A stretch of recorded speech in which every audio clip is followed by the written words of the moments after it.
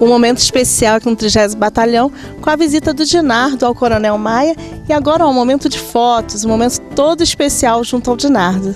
Eu que agradeço, agradeço a iniciativa de você aí, do, do Misael, que já tinham me falado comigo do Dinardo desde a época da Copa do Mundo, lembra? Já era para ter vindo aqui desde aquela época. Hoje é um, um, grande presente receber o Dinardo aqui. Dinardo, que agora é o mais novo componente do batalhão, já está com a camisa aqui da corporação. Obrigado por esse presente. O Dinardo é uma pessoa especial. Eu li o seu livro e aconselho que as pessoas leiam também. É um ensinamento de vida muito grande, todo mundo tinha que tomar conhecimento dessa história, até porque a gente fica muito envolvido no nosso dia a dia, né, no nosso cotidiano, e a gente esquece de olhar por lado, né, de ver que as pessoas têm histórias incríveis para a gente crescer como pessoa, né, como ser humano, e o Dinardo é um exemplo disso. Então, obrigado a vocês por terem trazido o Dinardo aqui, foi uma tarde inesquecível, você e o Misael novamente sempre é, trazendo essas surpresas para gente. Obrigado e o batalhão está de portas abertas para o Dinado, para qualquer pessoa que queira conhecer a gente. Foi um prazer imenso. Gostou, né, Dinado? Agora chamou nossa atenção porque o Dinardo fez uma visita, mas também quis conhecer um pouquinho de algumas coisas que acontecem, o que está sendo feito nas escolas, também nos estádios. Para o senhor, só esperava essas perguntas do Dinardo? Não, que bom, né? A gente vê que ele está preocupado com a sociedade, preocupado com a segurança, com a violência em, em, Teresópolis, a questão da segurança nas escolas, falou da questão da segurança em estádios, ele que é um comentarista esportivo de, de, né, de mão cheia, que eu já fiquei sabendo, né? E flamenguista, né? Você vê que ele é de bom gosto.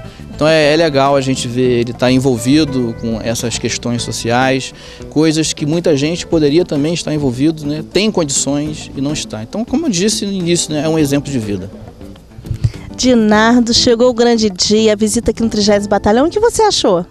Ah, foi, foi um prazer ter vindo aqui no 30 Batalhão. Está sendo um momento emocionante, emocionante né? E, e feliz conhecer o comandante. Agora, era o que você esperava o comandante? Com certeza. Porque eu, eu conheço, eu, eu vi a entrevista dele na TV, com meu amigo Cláudio, e, e conhecer ele pessoalmente era era o que eu esperava. Como foi para você receber essa camisa bonita que você ficou bem gatinho nela? Ah, foi, foi emocionante.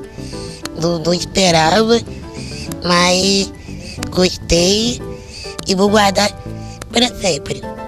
Agora você já sabe o caminho, vai voltar mais vezes? Ah, espero voltar sempre. Mas não vai ser na viatura não, né? Não. não, que aí Logo que aí o meu amigo vai ter que vir fazer a matéria, né? Dinardo, no próximo dia 30 de abril, o comandante vai completar um ano aqui em Teresópolis. Deixa sua mensagem para ele. É, desejar o boa sorte para ele, dizer para ele que ele não ganhou só um, um amigo, mas sim o irmão, que eu vou estar tá torcendo por ele e que Deus abençoe ele e que o trabalho dele vai ser bem abençoado por Deus.